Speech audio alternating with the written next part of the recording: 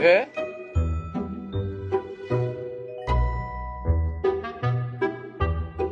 ဆရာရှင်ရောအတားဆရာကြောင့်ဘာတော့ဟာ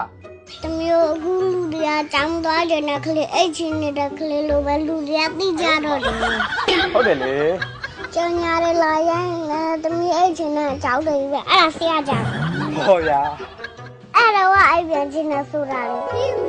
စိုးချင်ဘူးသူစနေဒီနေမစိုးချင် ဟောတကယ်ကြီးလည်းမဆောက်ချင်အဲ့ဒါဆရာနဲ့ဆောက်မယ်လားဆရာနဲ့ရုံငန်းထဲမှာ သမီးပတိမီယာဟာရဝက်ကတောက်မကြောက်လာနေကြအဲ့တော့ကမတောက်ခဲ့ရလို့အိတ်ပြန်တောက်ဖို့အတွက်အိတ်ပြန်ချင်းလား ဟောအဲ့လိုလား อืมဟုတ်တယ်သမီးကအခုဆိုရင်ကြောက်တဲ့မှန်တဲ့ကလေးလေးဖြစ်နေပါ ਈ နော် ဟုတ်တာဗောဟုတ်တာဗော ဟုတ်ပါလေဆိုသမီးပတိမီယာဟာရဝက်ကတောက်လို့သင်ဆန်းကျမနေတာလေ ဟောအေးပါကွာဆရာကရောပရီမီယာအာဟာရခွေကမထိုက်ရှင်ဘူးလားဆရာကိုတိုက်ဖို့အတွက်ပါလာတာပေါ့ဆရာလိုဘလပ်ပိတ်လေးမဟုတ်ပဲသမီးလိုအားရှိအောင်တိုက်ချင်တာပါအေးပါကွာ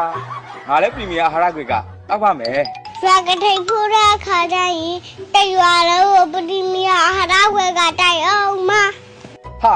ကောင်းတာဗော ဖခင်နဲ့မမေကရွာဖုတ်ကြီးကြောက်လဲလူပေးအောင်မတဲ့သာဓုသာဓုသာဓုပါဗျာကဲဆရာနဲ့သမီးအခုပဲဖြော်တော့လိုက်ရအောင်ကွာဟာဘလာမပန်ငွေသားကဆမ်းမဲလဲပါတယ်ဟာဟုတ်တယ်လေဆရာတထုံးမှာ25 gram ပါတာပဲဟုတ်တယ်လေဆရာအများကြီးတော့ဝါတာပေါ့ကွယ်ကနဲ့နေရလဲမွေးနာပဲ